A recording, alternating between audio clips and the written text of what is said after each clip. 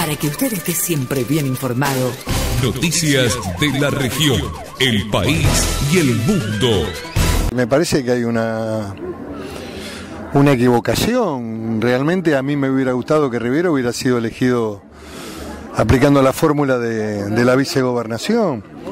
Pero bueno, el gobernador y el gobierno de la provincia ha entendido que había que correr y con cumplimentar, digamos, con el cargo de presidente de la legislatura, con lo cual indudablemente eh, aparece como, como difícil la, la, asunción, pero a mí me parece que hay que agotar las instancias en la Comisión de Constitucionales. Yo no tengo absolutamente nada en contra de, del compañero, me parece puedo entender su, su, enojo, pero sinceramente me parece que es un tema de discusión dentro de la legislatura.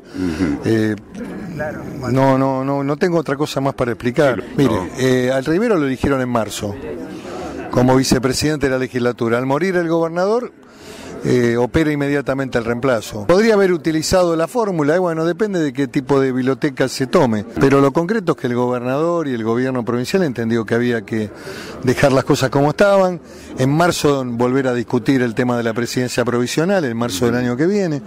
Y bueno, y lógicamente nosotros tenemos que tener en ese sentido un plano de, de respeto a la decisión del gobernador. Sí, siempre me reúno, siempre me reúno. Vamos a ver. Eh, a mí me interesa el partido, pero más me interesa la gente. Y me interesa la sociedad de Río Negro, que tiene que ver que siempre estoy trabajando y haciendo cosas por la provincia, eso es lo que me importa.